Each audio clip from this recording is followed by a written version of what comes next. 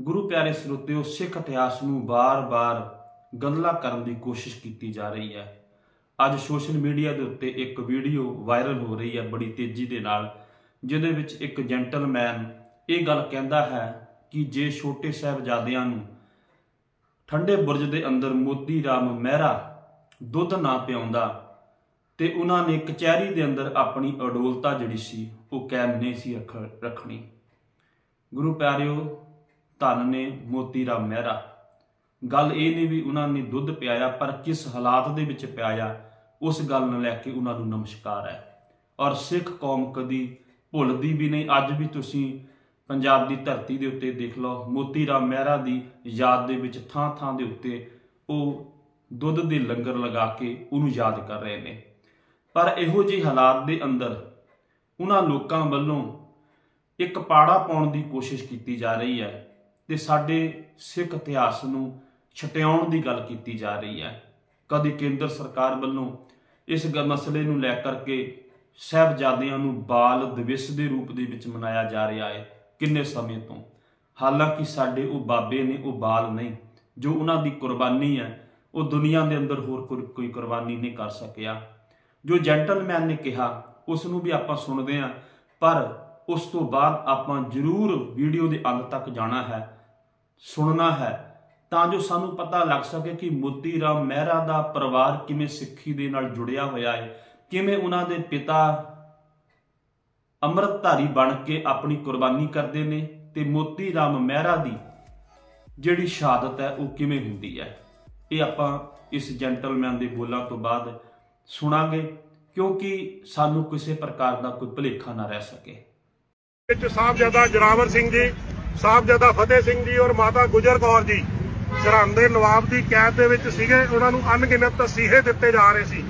ਉਸ ਵੇਲੇ ਮੋਤੀ ਰਾਮ ਮਹਿਰਾ ਜੀ ਜਿਹੜੇ ਨਵਾਬ ਦੇ EMPLOYE ਸੀਗੇ, ਪਹਿਰੇਦਾਰਾਂ ਨੂੰ ਰਿਸ਼ਵਤ ਦੇ ਕੇ ਗਰਮ ਦੁੱਧ ਦੀ ਸੇਵਾ ਪਹੁੰਚਾ ਰਹੇ ਸੀ ਸਾਹਿਬਜ਼ਾਦਿਆਂ ਨੂੰ, ਮਾਤਾ ਗੁਜਰ ਕੌਰ ਜੀ ਨੂੰ। ਇੱਕ ਗੱਲ ਨੋਟ ਕਰਨ ਵਾਲੀ ਹੈ, ਜੇ ਉਸ ਵੇਲੇ ਦਸੰਬਰ ਦੀ ਠੰਡੀ ਰਾਤਾਂ 'ਚ ਅਗਰ ਸਾਹਿਬਜ਼ਾਦਿਆਂ ਨੂੰ, ਮਾਤਾ ਗੁਜਰ ਕੌਰ ਜੀ ਨੂੰ ਗਰਮ ਦੁੱਧ ਦੀ ਸੇਵਾ ਨਾ ਹੁੰਦੀ ਤਾਂ ਕੀ ਉਹ ਆਪਣੇ ਸਟੈਂਡ ਦੇ ਉੱਤੇ ਕਾਇਮ ਰਹਿ ਪਾਉਂਦੇ? ਨਹੀਂ ਰਹਿ ਪਾਉਂਦੇ। ਇਸ ਕਰਕੇ ਜਿਸਲੇ 3 ਦਿਨ ਬਾਅਦ ਮੋਤੀ ਮਹਿਰਾ ਜੀ ਬਾਰੇ ਨਵਾਬ ਨੂੰ ਸੂਚਨਾ ਪਹੁੰਚੀ, ਤਾਂ ਉਹਨੇ ਮੋਤੀ ਮਹਿਰਾ ਜੀ, ਉਹਨਾਂ ਦੀ ਧਰਮ ਪਤਨੀ, ਉਹਨਾਂ ਦੇ 4 ਸਾਲ ਦੇ ਬੱਚੇ ਔਰ ਮਾਤਾ ਜੀ ਨੂੰ ਕੈਦ ਕਰਕੇ ਜਿੰਦਾ ਕੋਲੂ ਦੇ ਵਿੱਚ ਸ਼ਹੀਦ ਕੀਤਾ। ਔਰ ਐਸੇ ਮਹਾਂਪੁਰਸ਼ਾਂ ਦਾ ਤਿਆਗ ਔਰ ਕੁਰਬਾਨੀ ਉਹਨਾਂ ਲੋਕਾਂ ਤੱਕ ਪਹੁੰਚੇ, ਜਿਹੜੇ ਲੋਕ 1984 ਤੋਂ ਬਾਅਦ ਪੈਦਾ ਹੋ ਕੇ ਸੋਸ਼ਲ ਮੀਡੀਆ ਦੇ ਪ੍ਰਭਾਵ ਦੇ ਤਹਿਤ ਹਿੰਦੂ ਔਰ ਸਿੱਖਾਂ ਨੂੰ ਅਲੱਗ-ਅਲੱਗ ਸਮਝਦੇ ਨੇ। ਹਿੰਦੂ ਔਰ ਸਿੱਖ ਇੱਕ ਮਾਂ ਦੇ ਜਾਏ ਨੇ, ਨੌ ਮਾਸ ਦਾ ਰਿਸ਼ਤਾ। ਸਿੱਖ ਪੰਥ ਦੀ ਸਥਾਪਨਾ ਦੇ ਵਿੱਚ ਹਿੰਦੂਆਂ ਨੇ ਬਰਾਬਰ ਕੁਰਬਾਨੀ ਔਰ ਤਿਆਗ ਕੀਤਾ ਹੋਇਆ। ਹੁਣ ਤੁਸੀਂ ਆਪ ਹੀ ਸੁਣ ਲਿਆ ਹੋਵੇਗਾ ਕਿ ਕਿਵੇਂ ਇਹ ਜੈਂਟਲਮੈਨ ਸਿੱਖ ਕੌਮ ਤੇ ਹੋਰਾਂ ਕੌਮਾਂ ਦੇ ਵਿੱਚ ਦੁਫਾੜ ਪਾਉਣ ਦੀ ਕੋਸ਼ਿਸ਼ ਕਰ ਰਿਹਾ ਹੈ। ਕੇਂਦਰ ਸਰਕਾਰ ਵੱਲੋਂ, ਏਜੰਸੀਆਂ ਵੱਲੋਂ ਇਹੋ ਜਿਹੇ ਬਹੁਤ ਸਾਰੇ ਬੰਦੇ ਪਲਾਂਟ ਕਰਕੇ ਸਮਾਜ ਦੇ ਅੰਦਰ ਭੇਜੇ ਹੋਏ ਨੇ। ਤੁਸੀਂ ਪਿੱਛੇ ਜਾ ਇੱਕ ਨਿਹੰਗ ਹਰਜੀਤ, ਉਹਦੀ ਗੱਲਬਾਤ ਵੀ ਸੁਣੀ ਹੋਵੇਗੀ। ਮੈਂ ਉੱਤੇ ਬਹੁਤਾ ਕਮੈਂਟ ਨਹੀਂ ਕਰਨਾ ਚਾਹੁੰਦਾ। ਆਪਾਂ ਸਿੱਖ ਇਤਿਹਾਸ ਦੀ ਉਸ ਗੱਲ ਵੱਲ ਆਉਣਾ ਚਾਹੁੰਦੇ ਹਾਂ ਕਿ ਮੋਤੀ ਰਾਮ ਮਹਿਰਾ ਦਾ ਜੋ ਪਰਿਵਾਰ ਹੈ ਉਹ ਸਿੱਖੀ ਦੇ ਵਿੱਚ ਕਿਵੇਂ ਸ਼ਰਧਾ ਰੱਖਦਾ ਹੈ। ਮੋਤੀ ਰਾਮ ਮਹਿਰਾ ਜੀ ਦਾ ਪਿਤਾ ਦਾ ਨਾਮ ਸੀ ਹਰਾ ਰਾਮ। ਸਰਹੰਦ ਦੀ ਧਰਤੀ ਤੋਂ ਇਹ ਅਨਾਜਾਂ ਦੇ ਕੁਝ ਗੱਡੇ ਭਰ ਕਰਕੇ ਆਨੰਦਪੁਰ ਸਾਹਿਬ ਦੇ ਕਿਲੇ ਨੂੰ ਘੇਰਾ ਪੈਣ ਤੋਂ ਪਹਿਲਾਂ ਆਨੰਦਪੁਰ ਸਾਹਿਬ ਪਹੁੰਚਦੇ ਨੇ। ਜਦੋਂ ਇਹ ਪਹੁੰਚਦੇ ਨੇ, ਤੇ ਇਸੇ ਸਮੇਂ ਦੇ ਦੌਰਾਨ ਉਹ ਘੇਰਾ ਪੈ ਜਾਂਦਾ ਤੇ ਇਹ ਅੰਦਰ ਰਹਿ ਜਾਂਦੇ ਨੇ। ਅੰਦਰ ਰਹਿ ਜਾਂਦੇ ਨੇ ਤੇ ਇੱਥੇ ਹੀ ਹਰਾ ਰਾਮ ਅੰਮ੍ਰਿਤ ਛਕ ਕੇ ਹਰਾ ਸਿੰਘ ਬਣਦਾ ਹੈ। ਤੇ ਜਦੋਂ ਪਹਾੜੀ ਰਾਜਿਆਂ ਤੇ ਮੁਗਲ ਹਕੂਮਤ ਨੇ ਕਸਮਾਂ ਖਾ ਕੇ ਗੁਰੂ ਗੋਬਿੰਦ ਸਿੰਘ ਮਹਾਰਾਜ ਤੋਂ ਆਨੰਦਪੁਰ ਸਾਹਿਬ ਦਾ ਕਿਲਾ ਛਡਾਉਣ ਤੋਂ ਪਹਿਲਾਂ ਜਵਾਨੀ ਕਲਾਮੀ ਕਿਹਾ ਸੀ ਵੀ ਸਤਿਗੁਰੂ ਤੁਸੀਂ ਆਨੰਦਪੁਰ ਸਾਹਿਬ ਦਾ ਕਿਲਾ ਛੱਡ ਜਾਓ। ਉਸ ਵਕਤ ਸਤਿਗੁਰ ਨੇ ਸਿੱਖਾਂ ਨੂੰ ਪ੍ਰਤੱਖ ਦੱਸਣ ਵਾਸਤੇ ਵੀ ਇਹਨਾਂ ਦੇ ਮੁਖ ਵਿੱਚ ਕੁਝ ਹੋਰ ਹੈ। ਇਹ ਅੰਦਰੋਂ ਕੁਝ ਹੋਰ ਬੋਲਦੇ ਪਏ ਨੇ ਤੇ ਉਸ ਵਕਤ ਕੁਝ ਬੈਲ ਗੱਡੀਆਂ ਉੱਤੇ ਪੁਰਾਣੇ ਕੱਪੜੇ, ਮਰੇ ਹੋਏ ਡੰਗਰਾਂ ਦੇ ਹੱਡ ਆਦਿਕ ਉੱਪਰ ਸੁੰਦਰ ਦੁਸ਼ਾਲੇ ਦੇ ਕੇ ਰਾਤ ਦੇ ਵਕਤ ਮਸ਼ਾਲਾਂ ਜਗਾ ਕੇ ਬਾਹਰ ਭੇਜੇ ਸਨ। ਉਹਨਾਂ ਦੇ ਨਾਲ ਕੁਝ ਸਿੱਖ ਵੀ ਭੇਜੇ ਸਨ। ਜਥੇ ਦੇ ਰੂਪ ਦੇ ਵਿੱਚ ਤੇ ਜਥੇਦਾਰ ਹਰਾ ਸਿੰਘ ਨੂੰ ਬਣਾਇਆ ਸੀਗਾ।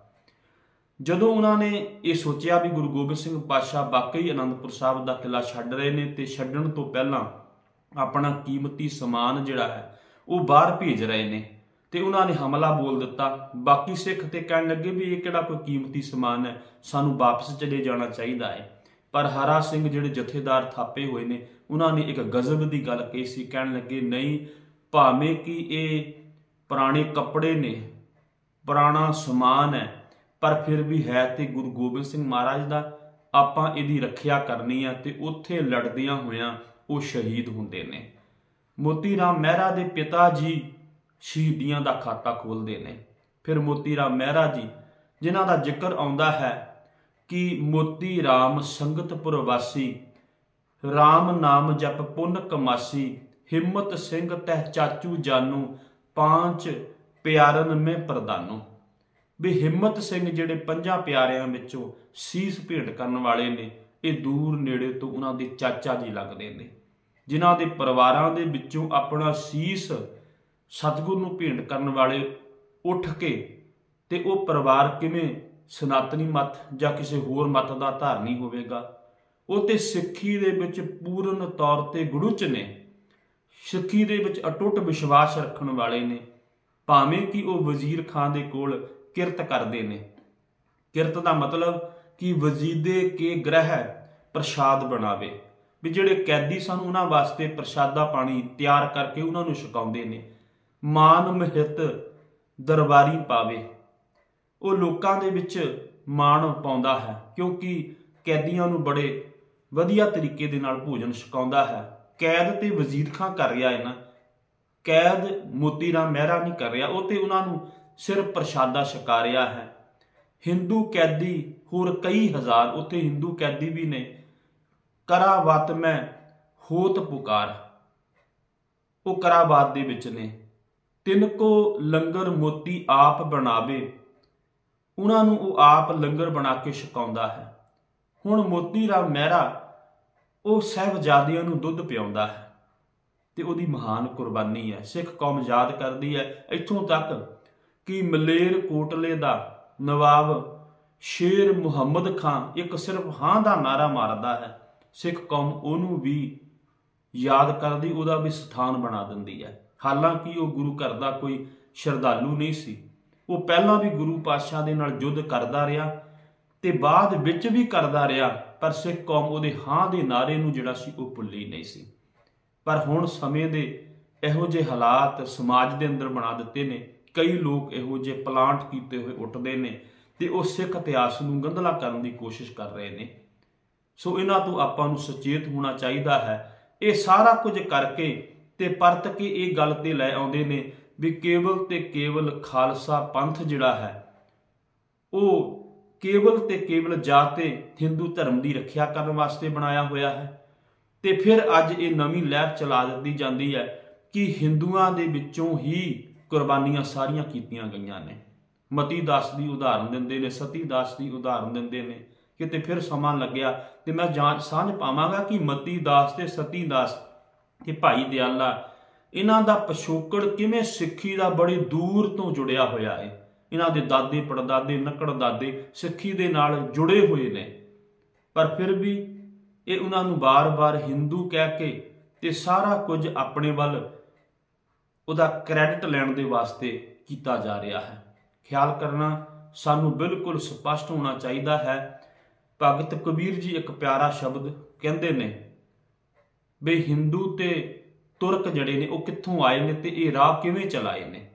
ਅਸਲ ਦੇ ਵਿੱਚ ਧਰਮ ਇੱਕ ਦੂਜੇ ਦੇ ਵਿੱਚੋਂ ਪੈਦਾ ਹੁੰਦੇ ਨੇ। ਵਿਚਾਰਧਾਰਾ ਦਾ ਨਾਮ ਹੀ ਧਰਮ ਹੋ ਜਾਇਆ ਕਰਦਾ ਹੈ। ਸੋ ਸਾਨੂੰ ਇਹਨਾਂ ਗੱਲਾਂ ਤੋਂ ਸੁਚੇਤ ਰਹਿਣਾ ਚਾਹੀਦਾ ਹੈ, ਜਿਹੜੇ ਇਹੋ ਜਿਹੇ ਲੋਕ ਇੱਕ ਪਾਸੇ ਕੌਮ ਉਹਨਾਂ ਸਹਿਬਜ਼ਾਦਿਆਂ ਨੂੰ ਚੇਤੇ ਕਰ ਰਹੀ ਹੈ, ਯਾਦ ਕਰ ਰਹੀ ਹੈ, ਕੁਰਬਾਨੀਆਂ ਨੂੰ ਯਾਦ ਕਰ ਰਹੀ ਹੈ। ਦੂਜੇ ਪਾਸੇ ਇਹੋ ਜਿਹੇ ਲੋਕ ਜਿਹੜੇ ਨੇ, ਉਹਨਾਂ ਦੀਆਂ ਕੁਰਬਾਨੀਆਂ ਨੂੰ ਚਿਠਲਾਉਣ ਦਾ ਯਤਨ ਕਰ ਰਹੇ ਨੇ ਅਤੇ ਇਹ ਗੱਲ ਕਹਿ ਰਹੇ ਨੇ ਵੀ ਜੇ ਮੋਤੀ ਰਾਮ ਮਹਿਰਾ ਦੁੱਧ ਨਾ ਪਿਆਉਂਦਾ ਤੇ ਉਹਨਾਂ ਨੇ ਅਡੋਲ ਨਹੀਂ ਸੀ ਰਹਿਣਾ।